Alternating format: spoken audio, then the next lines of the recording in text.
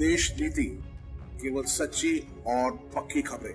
दोस्तों, तेरह जुलाई के बाद ये तय हो जाएगा कि योगी आदित्यनाथ सीएम की कुर्सी पर बैठे रहेंगे या योगी आदित्यनाथ को इस्तीफा देना पड़ेगा।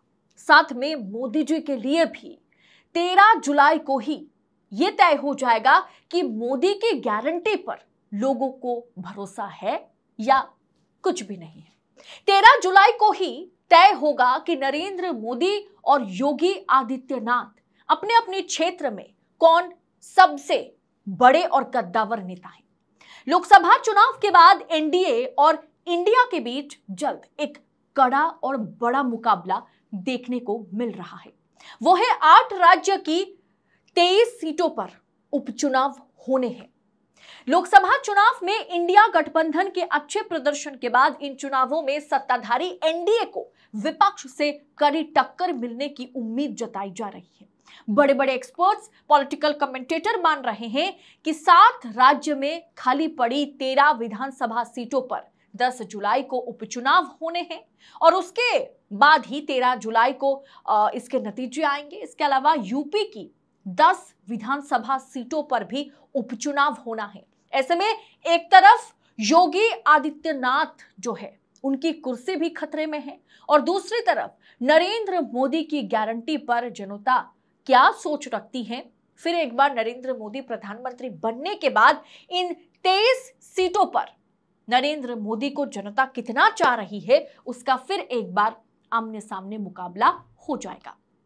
दोस्तों, इनमें से ज़्यादातर सीटें लोकसभा चुनाव के चलते खाली हुई है। किन राज्य की कितनी सीटों पर उपचुनाव है? आइए एक एक कर मैं आपको बताती हूँ। बिहार की रुपोली, पश्चिम बंगाल की रायगंज, रानाघाट दक्षिण, बगदा मणिकतला, तमिलनाडु की विक्रांतबंदी, मध्य प्रदेश की, अमरवाड़ा, उत्तराखंड की बद्रीनाथ, मैंगलोर, पंजाब की जलंध वेस्ट, हिमाचल प्रदेश की देहरा, हमीरपुर, नालागढ़ सीटों पर 10 जुलाई को मतदान होगा। ये सीटें लोकसभा चुनाव या विधायकों के निधन के चलते खाली हुई है। तो वहीं यूपी की करहल मिल्कीपुर, कटेहरी, कुंदौर की गाजियाबाद, खैर मीरापुर, फुलपुर, मझवा सीसामाऊ सीटों पर उपचुनाव होना है। उत्तर प्रदेश में नौ विधायक सांसद बन गए हैं और समाजवादी पार्टी के एक विधायक इरफान सोलंकी की सदस्यता चली गई, जिसकी वजह से कानपुर की सीसामऊ विधानसभा सीट पर उपचुनाव होना है। सात राज्य की तेरह सीटों पर किसका पड़ला सबसे ज़्यादा भारी है? पश्चिम बंगाल की चार सीटों पर उपचुनाव होने हैं। ये चार सीटें टीएमसी के पास थी। टीएमसी ने लोकसभा चुनाव 2024 में भी शानदार प्रदर्शन किया। ऐसे में इस बार भी इन सीटों पर टीएमसी का पड़ना जो है, भारी माना जा रहा है। बिहार की रुपोली सीट पर उपचुनाव है, जहाँ जेडीयू विधायक बीमा भारती जो है, इस्तीफे के बाद चुनाव हो रहा है फिर से। अब वे जेडीयू छोड़कर राजद में आ गए हैं। ऐसे में इस सीट पर एनडीए और इंडिया गठबंधन के बीच कड़ी टक्कर है। तमिलनाडु की विक्रवंडी सीट पर भी उपचुनाव होना है। ये भी सीट जो है, ये डीएमके विधायक के पास है।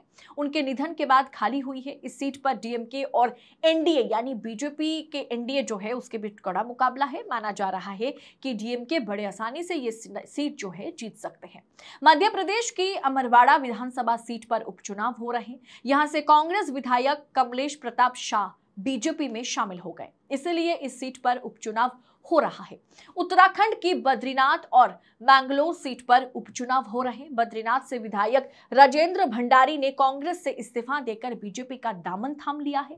वहीं मैंगलोर में बसपा विधायक सरवत करीम अंसारी के निधन के बाद उपचुनाव हो रहा है। इस सीट पर बीजेपी ने करतार सिंह भड़ाना और कांग्रेस ने पूर्व विधायक काजी निजामुद्दीन और वहीं बीएसपी ने दिवंगत विधायक सरवत करीम अंसारी के बेटे को जो है टिकट दिया है। यहाँ मुकाबला त्रिकोणीय, यानी ट्राइंगल शेप में यहाँ का मुकाबला जो है, देखा जाएगा।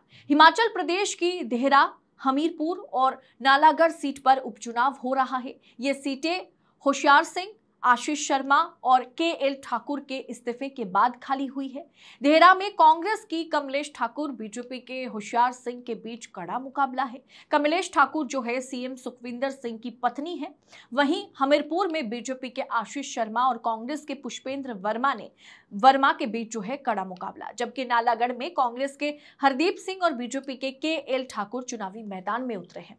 अब यूपी में सीएम योगी आदित्यनाथ के लिए अग्नि परीक्षा है, क्योंकि 10 सीटों पर चुनाव है। यूपी की 10 सीटों पर एनडीए और इंडिया गठबंधन के बीच सबसे बड़ा मुकाबला माना जा रहा है। हाल ही में हुए लोकसभा चुनाव में यूपी में इंडिया गठबंधन ने एनडीए को बड़ा झटका दिया। ऐसे में क्या अखिलेश यादव, क्या राहुल गांधी का ये महागठबंधन एनडीए को खास करके बीजेपी को, सीधा जो है यहाँ पर क्लीन बोल्ट कर देगा? ये बड़ा सवाल है। किन किन सीटों पर उपचुनाव को सीएम योगी की अग्नि परीक्षा के तौर पर देखा जा रहा है, आइए जानते हैं। दोस्तों, दरअसल उपचुनाव जो है, वो नौ सीटों पर होगा, जहाँ विधायक अब सांसद बन चुके हैं। इसके अलावा कानपुर की सीसामऊ विधानसभा सीट से सपा विधायक इरफान सोलंकी को बीते दिनों एमपी एमएलए कोर्ट ने आगजनी के मामले में उन्हें सजा सुनाई थी, जिसके बाद उनकी विधानसभा की सदस्यता चली गई थी। इसलिए अब 10 विधानसभा सीटों के लिए उपचुनाव है। हालाँकि इस परीक्षा में पास फेल होने से राज्य सरकार की सेहत पर कोई फ़र्क तो नहीं पड़ेगा, लेकिन नरेंद्र मोदी और योगी आदित्यनाथ कितने पानी में हैं, इतना तो साफ़ हो जाएगा। दोस्तों, फिर एक बार बीजेपी को उत्तर प्रदेश में मौका है कि वो अपने 10 विधायक को जो है बचा सके। लेकिन अगर 10 में से भारतीय जनता पार्टी पाँच से छह सीटें भी हार जाती है और फिर लाल टोपी का जो बढ़ोतरी विधानसभा में होगी, लखनऊ में होगी, उससे योगी आदित्यनाथ परेशान ज़रूर होंगे। और खास करके बीजेपी आला कमान के आगे योगी आदित्यनाथ को हटाने के लिए जो है एक बड़ा शस्त्र उन्हें मिल जाएगा। और बड़े आसानी से योगी आदित्यनाथ को इस्तीफा देने पर भी मजबूर कर सकते हैं। यानी 10 जुलाई से लेकर के 13 जुलाई के बीच जो उपचुनाव होंगे उत्तर प्रदेश की 10 सीटों पर और बाकी राज्य के 13 सीटों पर, कुल मिलाकर के इन 23 सीटों पर विधानसभा चुनाव। फिर एक बार एनडीए और इंडिया के बीच किसकी ताकत फ़िलहाल मज़बूत है, इसका जीता जागता उदाहरण फिर एक बार बनेगा। आपको क्या लगता है, तेईस सीटों पर इस उपचुनाव में किसकी जीत हो सकती है और कौन जो है हार के मारे, शर्म से फिर एक बार झुक जाएगा। क्या वो भारतीय जनता पार्टी होगी? क्या एनडीए होगा? आपको क्या लग रहा है? आपकी राय कमेंट कर आपकी प्रडिक्शन जो भी है, कमेंट कर अपनी राय हमारे साथ शेयर कर सकते हैं। बाकी हम राजनीतिक खबरों को आप तक पड़ताल के साथ पहुँचा सके, विश्लेषण के साथ पहुँचा सके, इसके लिए देश नीति का भरपूर सपोर्ट करें। आज़ाद मीडिया को फ्री जर्नलिज्म को अपना सपोर्ट दिखाए। चैनल को सब्सक्राइब करने के साथ साथ आप थैंक्स ऑप्शन के ज़रिए देश नीति को आर्थिक तौर पर भी मदद कर सकते हैं। फ़िलहाल इस रिपोर्ट में इतना ही। बहुत बहुत शुक्रिया। जय हिंद जय भारत।